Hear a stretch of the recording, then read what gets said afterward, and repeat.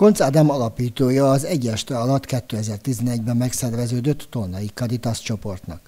Éveken át volt postás Tolnán és Mözsön is, így pontos képe van arról, hol kell el a segítség. Megítélése szerint a segítségnyújtás az a tevékenység, mely legjobban leképezi a katolikus vallás világi arcát. Az egyház szociális tanítása az a kezdetektől fogva kidomborodik az egyházon belül, és, és ez ma sincsen másképp, mint az ős egyház idejében. Ez a társadalomban az egyház élő arca. A szegénységről való gondolkodást otthonról hozta. Azt mondja, a Caritas tevékenység csapatmunka, csak így tud igazán hatékonyan működni. Ennek megfelelően a díj az egész szervezet kiemelkedő működését dicséri. Tényleg nem több ez az egész, mint, mint a karmester, amikor a zúgó taps közepett a szerek arra mutat, hogy gyerekek álljatok föl, ez a taps most nektek szól, vagy legalábbis javarészben nektek, akik itt álltatok mellettem, körülöttem.